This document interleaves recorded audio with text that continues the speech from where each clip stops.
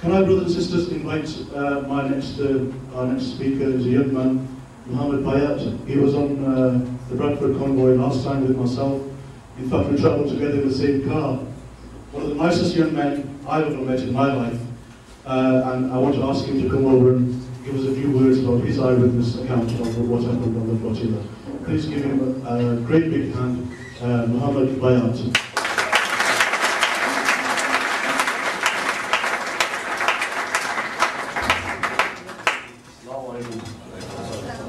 I wasn't to speak just my table, so I'm not anything. Um, I'll just give you a quick eyewitness account um, of what I went through. Um, on the 27th of May, I boarded the Margaret Marmara, the main passenger ship uh, provided by IHH, the International uh, Human Relief Foundation in Turkey, which was heading for the Gaza Strip. Um, we were accompanied by a number of aid ships carrying tens of thousands of tons of medical aid and building materials. We were expected to reach Gaza on the 29th, which was two days later. Um, as you all know, it wasn't meant to be. On the on Sunday, the 29th or the 30th, I believe it was, we were around 100 miles from the shore of Gaza. It was around 9 or 10 o'clock in the morning when the ships, when the ships were basically just sat still.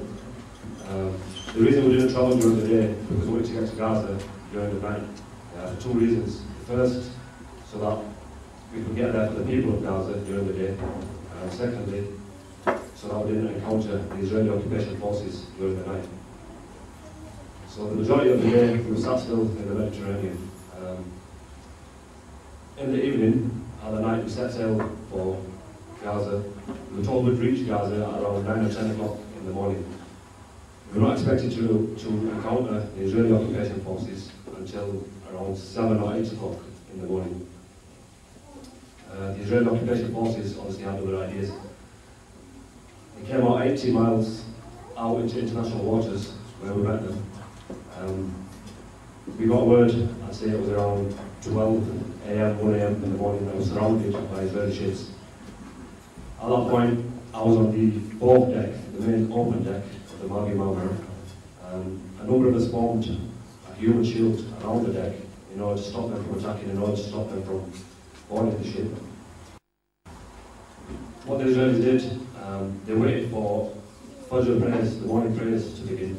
And at that point, the ships which we could see in the distance, we could see the lights, we couldn't actually see what, what kind of ships they were, whether they were gunboats, whether they were naval vessels. They blacked the lights out, and then they attacked us. So, as the majority of the men went to pray, the majority of the people left their positions, um, they came and they attacked us. As soon as the gunboats came, as soon as they arrived, uh, they started shooting up from the boats, and they also had helicopters above the ship, which started shooting down. Uh, at that point, it was absolute chaos. Uh, people were being shot in the leg, in the back, shoulders, head, stomach, all over the place. There was just blood all over the place. People were screaming, shouting, all just cowering to get inside. Um, I myself was hit with uh, three plastic rounds. When we heard that they had helicopters and people being shot on the top deck, we tried to get to the top to try and help the people who were up there. As we were going up the steps, um, from the helicopters, the snipers were spraying bullets down. I was hit with three plastic rounds. The Turkish brother who was next to me, who was also going up the steps to try and get up the deck, was shot with a live round. So it just shows that they were shooting indiscriminately at anybody and everybody. This took place, they, they continued shooting, they continued firing for, I'd say, around 40 to 45 minutes. From the moment they attacked, the captain of the ship and some of the volunteers got on the tannoy and they putting out messages in English, in Hebrew, in Arabic, in Turkish, telling these, the, the Israeli occupation soldiers that we were unarmed civilians and that we needed, we required medical help for the injured. We were saying we are not resisting, we are not armed, you know, please provide medical assistance. They ignored, they ignored these pleas for, I'd say, 45 minutes to an hour and just continued shooting people randomly. When they eventually took control of the ship, at that point I there were three or four people, three or four martyrs. What they then did, everybody's on the inner decks, they surrounded the decks and they waited for people to leave.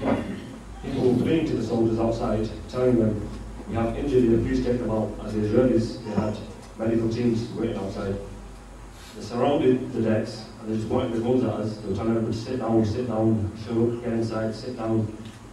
And at that point, people were just bleeding to death when, you know, the journeys could have saved them. Kept us there for maybe an hour or so while these people bled to death.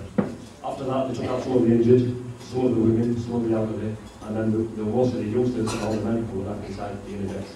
Then took us out one by one, where they gave us a beating. Um, I was taken out at one point by two drilling occupation soldiers.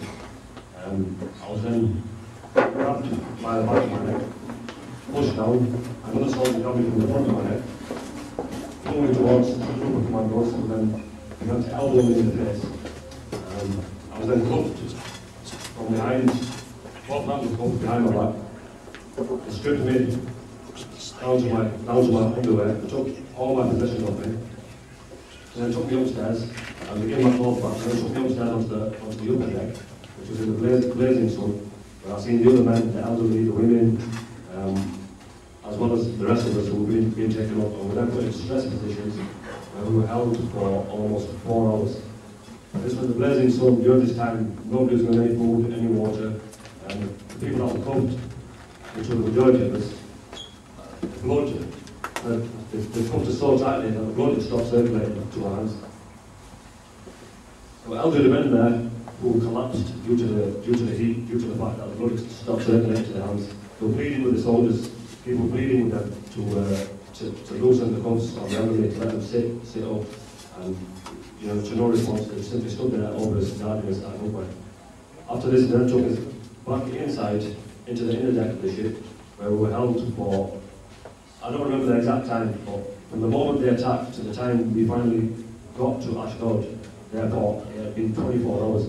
So kept us there for 24 hours, um, when the journey should have only taken two or three hours.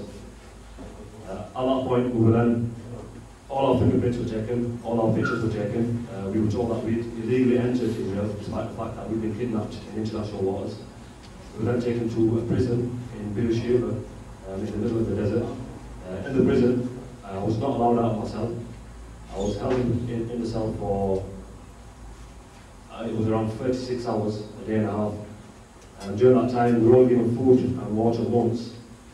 And we were not allowed to phone call, we were not allowed to contact our families. Even when the British consulate came, which he did come on the second day while we were there, um, he requested, he did try to help us, he requested that we give a phone call um, he requested that we, we, we were allowed to be to walk around. He, he asked he asked them to to take us out cells. Um, but the British consulate also he was refused, and um, so that we were held there. And then obviously the following day we were deported back to Istanbul, Turkey. Um, that's pretty much probably as much as I can remember uh, at the moment. Um, the only thing I'd like to say is that in all the accounts that you're hearing the treatment that everybody went through, the elderly, the women, the youngsters on board. This is only a, a, a tiny fraction of what Palestinians go through every single day. So I'd just like everybody to, to think about that.